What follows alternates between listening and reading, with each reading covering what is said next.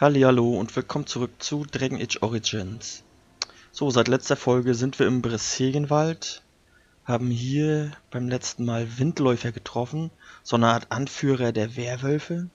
Der sagte uns, ja, dass wir am besten zurückgehen sollen und sagte auch, dass die Elfen uns nicht alles erzählt haben, also dieser Behüter Cesrian. Da wir aber neugierig sind und die Unterstützung der Elfen auf jeden Fall brauchen, latschen wir natürlich trotzdem weiter. Mir überlegt, ich gehe jetzt erstmal hier rechts rum. Die Brücken sind ja ein guter Anhaltspunkt, wie weit wir schon ins Gebiet vorgedrungen sind. Jetzt also erstmal rechts rum, mal gucken, was hier noch so kommt. Die beiden Wölfe hier erstmal kein Problem.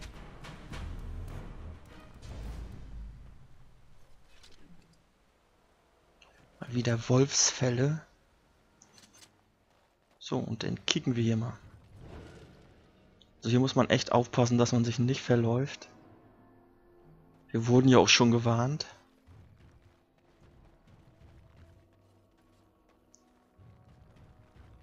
Nee, hier geht's nicht durch. Sieht auf jeden Fall sehr, sehr schön aus von der ganzen Landschaft. Aber halt auch gefährlich.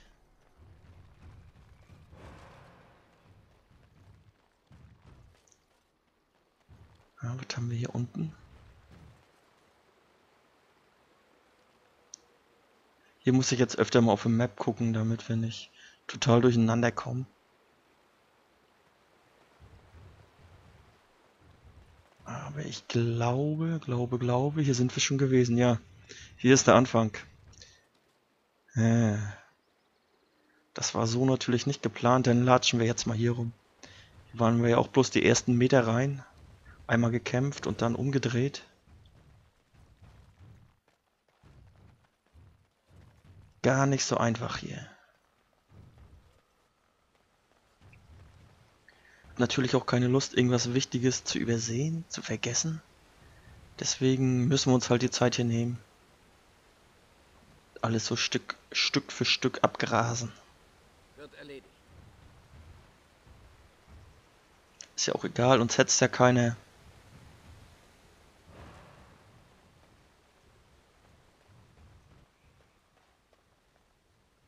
So. Das sollte kein Problem sein. Kann ja immer gucken, da wo noch Elfenwurzeln oder sowas rumsteht, da sind wir auf jeden Fall noch nicht gewesen. Und hier ist das ja der Fall. Oh Mann, mein Orientierungssinn, der ist echt furchtbar.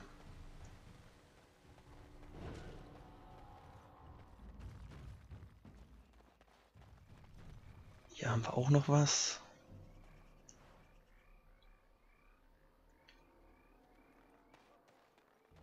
Ist zwar alles nicht so wichtig, was wir jetzt einsammeln, aber trotzdem, ich würde schon ganz gern hier alles abklappern.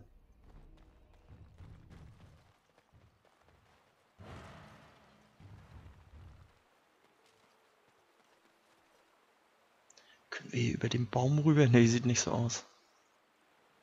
Und da unten ist wieder diese Insel mit den drei Brücken, da wo wir heute angefangen haben.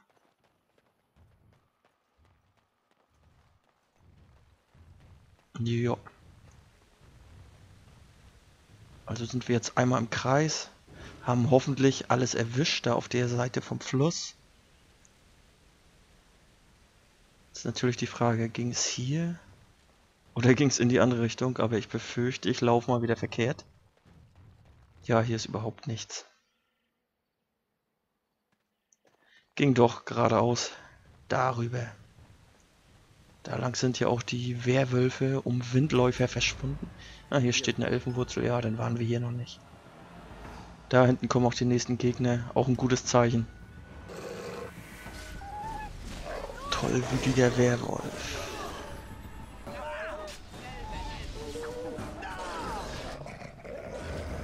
Ups, da kommt nur einer zur Verstärkung.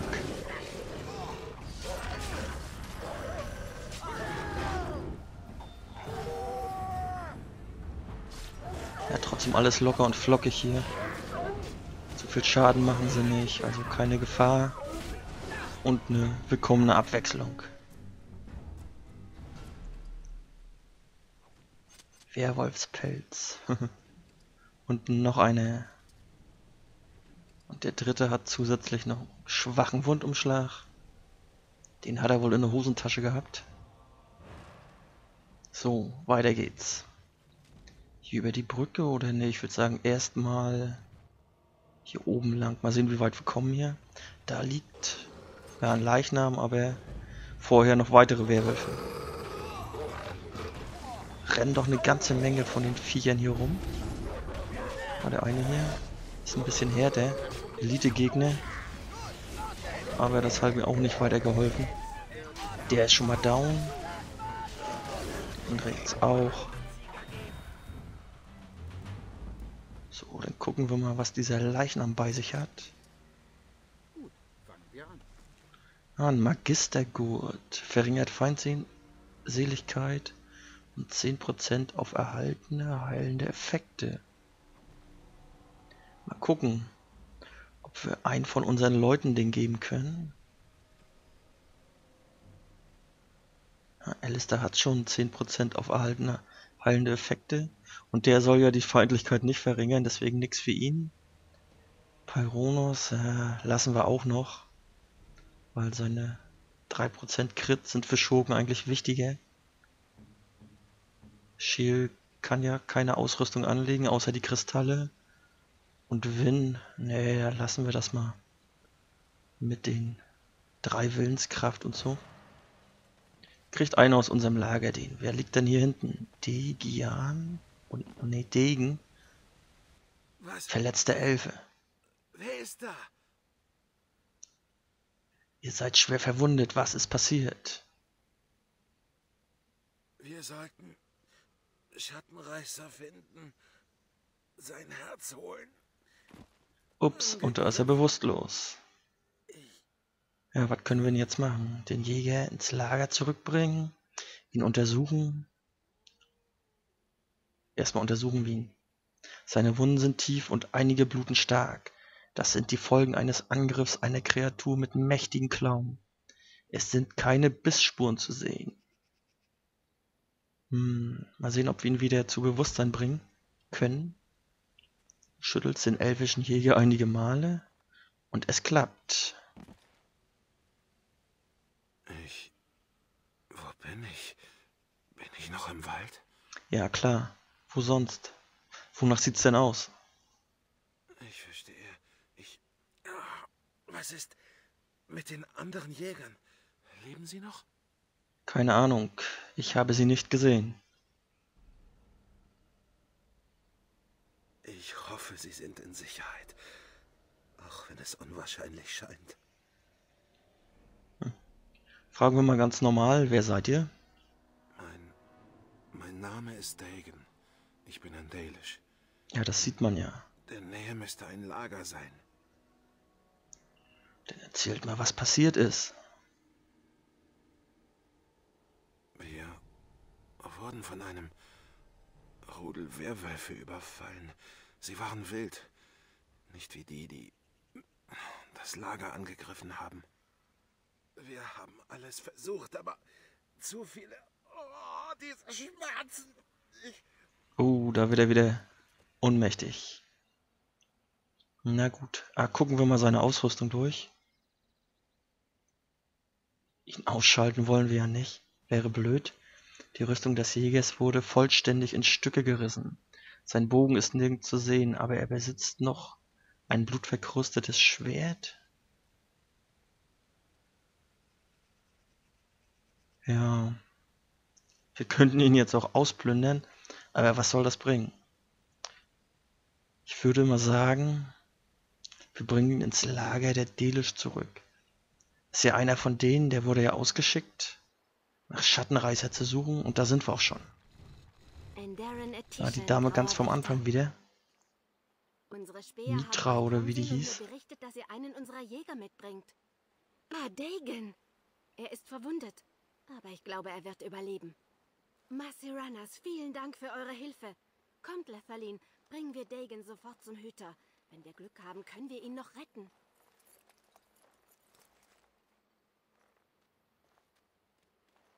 Ja, ich denke, das war eine gute Entscheidung. Neue Quest, Verwundete im Wald. Äh, und auch gleich abgeschlossen. Okay, Degen haben wir gefunden und zurück ins Lager gebracht. Die Elfen waren dir äußerst dankbar. Gut. Ist das abgehackt? Wind stimmt auf zu, plus 3. Ja, jetzt sind wir hier wieder ganz am Anfang, wo wir das Gebiet betreten hatten. Also wieder mal zurücklatschen.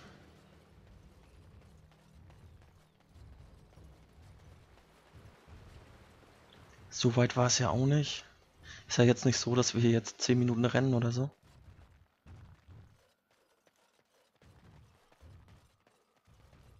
Da ist der Wasserfall, da müssten gleich die Brücken kommen, genau. Geradeaus rüber. So, und wir waren hier rechts hoch irgendwie. Ah, haben wir noch eine Wurzel vergessen. Da geht's glaube ich nicht weiter. Nee, abgesperrt durch diesen umgekippten Baum. Da hinten haben wir ein mystisches irgendwas. Grabstein-Amulett oder so. So, hier irgendwo lag der Degan. Ja, viel weiter geht's auch nicht. Da ist schon wieder so ein Fluss. Dann mal zurück. Irgendwie müssen wir uns jetzt hier rechts halten. Denke ich mir mal so. Da vielleicht über die Brücke rüber. Oh. Das sind aber keine Werwölfe. Ach du Schande. Dunkle Brut plus Oger. Was machen die denn hier? Oh, der schmeißt gerade mit einem Stein, mit einem Felsen. Werden unsere bestimmt gleich umkippen hier. Mal, mal sehen, ja. Da liegen sie auch schon. So, Alistair, du solltest dir den Oger vornehmen. Ah, wieso sind denn jetzt die ganzen Buffs schon wieder deaktiviert? Ist ja komisch.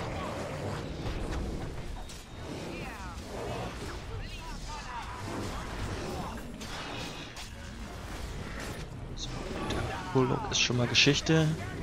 Alle auf den Oger. Ah, da hinten ist noch irgendwo ein Bogenschütze, glaube ich. Aber erstmal schnell den Ogre, der ist schon fast down. So, da liegt er auch schon. Gut. Hier, genau. Der Bogenschütze. Ich glaube, einer kam da hinten noch. Yep.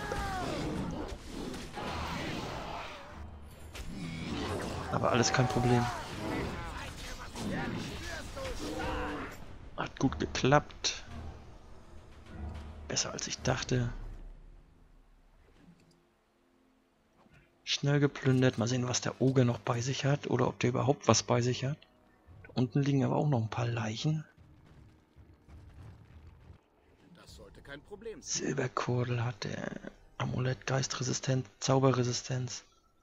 Ja, gucken wir mal später, ob das einer gebrauchen kann von unseren Leuten. Aber ich glaube, die haben mittlerweile alle was Besseres. Rennen wir jetzt hier runter? Hinten ist Schutt.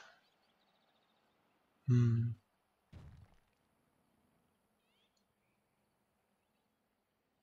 Alter Grabstein wird angezeigt auf dem Minimap. Aber wir gucken erstmal hier oben noch.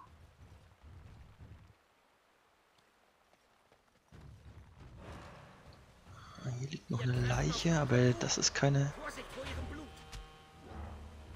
Ach, da hinten haben wir noch einen weiteren Bogenschützen. Aber die Leichen, die hier rumliegen teilweise, sind glaube ich gar nicht von, von uns oder die haben wir nicht getötet. Aber warum sind die tot? Warum liegen die hier rum? Wer war das?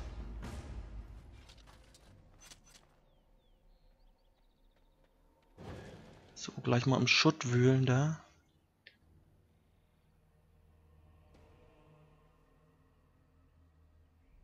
Oh, der hier links von uns ist der Grabstein. Vorher einmal speichern. Vorsichtshalber. Ich weiß nicht genau, wie das mit dem Grabstein war.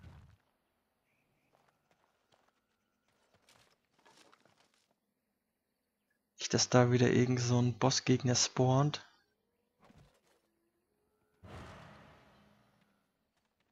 So, gucken wir mal. Ganz vorsichtig. Und dann auch mit Alice der Liebe.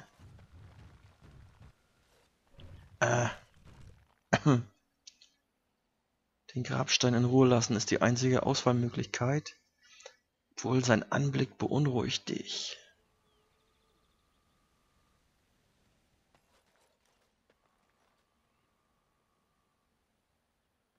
Hm. Also irgendwas hat das hier noch mit dem Grabstein auf sich. Aber kann auch sein, dass wir das später erst zukommen.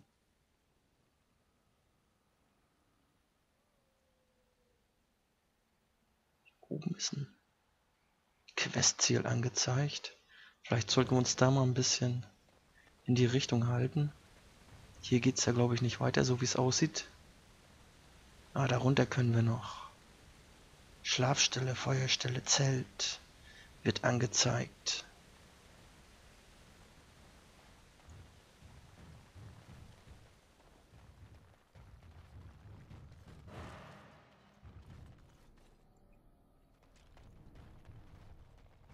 Ja, gar nicht so einfach, sich hier durchzufinden. Da, große Eiche. Ich glaube, das ist so ein Baum, mit dem wir sprechen können. So ein sprechender Baum. Bin mir aber nicht ganz sicher. Mal sehen, ob wir hier runterkommen. Hm, sieht nicht so aus. Klicke ich mal einmal dahin. Der soll sich jetzt erstmal seinen Weg selber finden. Zumindest erstmal die Richtung, bevor ich hier lange rumsuche.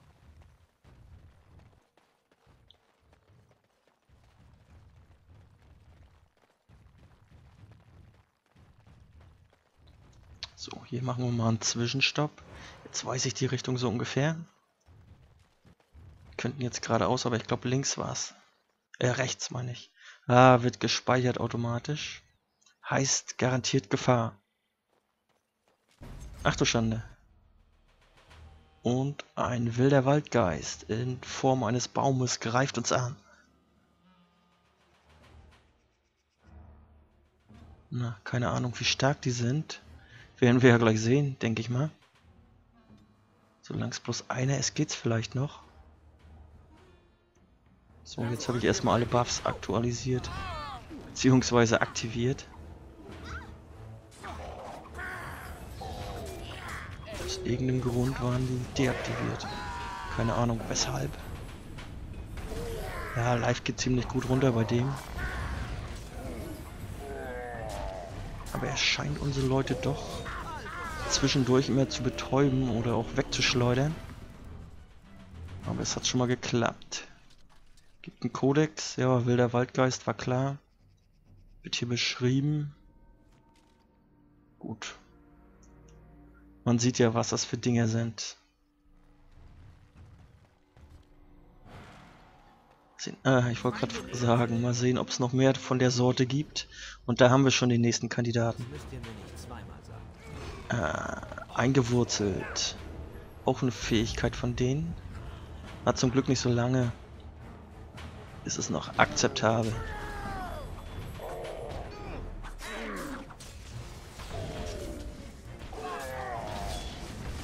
Oh oh, Peronas. Das war gerade ganz knapp im Live. Und nochmal, aber er liegt rechtzeitig. Gut, ist gerade nochmal gut gegangen. Eigentlich sollte Alistair ja den Tank spielen und nicht unser Schurke. Gerade nicht so gut hingehauen aber alle überlebt. Da ist die große Eiche. Hm. Vorsichtig heranpirschen. Also wir können sie ansprechen. Die wird uns nicht direkt angreifen. Aber... Ja. Dieser Baum, der sah mir auch so aus, als wenn der vielleicht nochmal auf uns losgehen könnte. Und genau das macht er.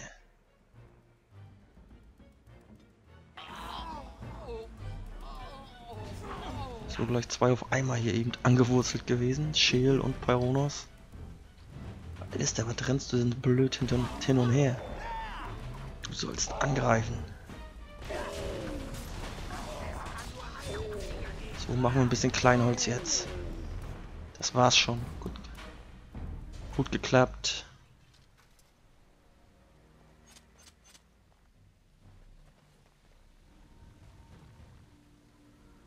So, das ist also die große Eiche. Hm, was es mit der auf sich hat, würde ich sagen, erkunden wir beim nächsten Mal.